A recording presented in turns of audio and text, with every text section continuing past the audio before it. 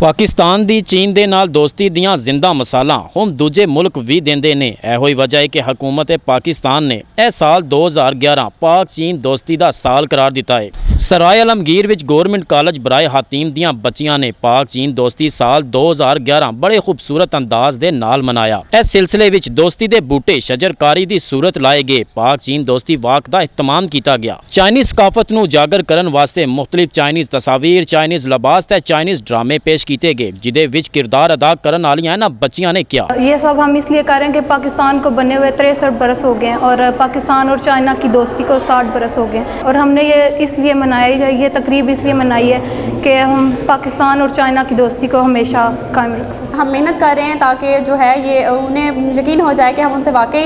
सच्ची दोस्ती रखते हैं और हम, हमने उनके कल्चर को अपने पाकिस्तान में सबके सामने पेश किया और मुझे उम्मीद है कि ये उनको पसंद आएगा। पाक चीन दोस्ती हिमालय से ऊँची और समंदर से गहरी है और इस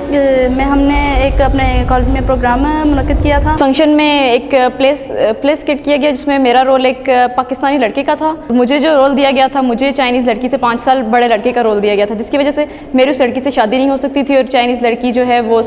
और उसने मुझसे उनकी माँ ने भी कहा कि ये हमारी रवायत के खिलाफ है जिसकी वजह से ये शादी नहीं हो सकती लेकिन हमारी पाक चाइना दोस्ती हमेशा कायम रहेगी ਆਪਣਾ ਨਿਊਜ਼ ਨਾਲ ਗੱਲਬਾਤ ਕਰਦਿਆਂ ਹੋਇਆਂ ਕਾਲਜ ਦੀ ਪ੍ਰਿੰਸੀਪਲ ਨੇ ਇਸ ਫੰਕਸ਼ਨ ਬਾਰੇ ਦੱਸਿਆ ਸਰਾਏ ਅਲਮਗੀਰ ਡਿਗਰੀ ਕਾਲਜ ਵਿੱਚ ਅਸੀਂ ਤਰ੍ਹਾਂ ਤਰ੍ਹਾਂ ਦੇ ਫੰਕਸ਼ਨਸ ਅਰੇਂਜ ਕੀਤੇ ਨੇ ਜਿਨ੍ਹਾਂ ਵਿੱਚ ਸਟੂਡੈਂਟਸ ਨੇ ਡਰਾਮੇ ਕੀਤੇ ਨੇ ਉਹਨਾਂ ਦੇ ਬਾਰੇ ਚ ਮਾਲੂਮਾਤ ਦਿੱਤੀਆਂ ਨੇ ਖਾਣੇ ਦੇ ਬਾਰੇ ਚ ਪ੍ਰੋਗਰਾਮ ਉਹਨਾਂ ਨੇ ਕੰਡਕਟ ਕੀਤੇ ਨੇ ਫੈਂਸੀ ਡਰੈਸ ਸ਼ੋਅ ਕੀਤੇ ਨੇ ਔਰ ਸਭ ਤੋਂ ਵੱਡੀ ਗੱਲ ਇਹ ਹੈ ਕਿ ਸਾਰੇ ਸਟੂਡੈਂਟਸ ਨੇ ਇਹਦੇ ਵਿੱਚ ਬਹੁਤ ਸ਼ੌਕ ਦੇ ਨਾਲ, ਦਿਲਚਸਪੀ ਦੇ ਨਾਲ ਪਾਰਟਿਸਿਪੇਟ ਕੀਤਾ ਹੈ। ਇਹ ਪਾਕ ਚੀਨ ਦੋਸਤੀ ਦੀ ਜ਼ਿੰਦਾ ਮਿਸਾਲ ਹੈ ਕਿ ਸਕੂਲਾਂ, ਕਾਲਜਾਂ ਦੇ ਵਿੱਚ ਅੱਜ 2011 ਦੇ ਸਾਲ ਨੂੰ ਪਾਕ ਚੀਨ ਦੋਸਤੀ ਦੇ ਨਾਂ ਤੋਂ ਮਨਾਇਆ ਜਾ ਰਿਹਾ ਹੈ। ਕੈਮਰਾਮੈਨ ਰਿਜ਼ਵਾਨ ਰਸ਼ੀਦ ਦੇ ਨਾਲ ਅਰਸ਼ਦ ਸੀਨਾ, ਆਪਣਾ ਨਿਊਜ਼ ਸਰਾਏ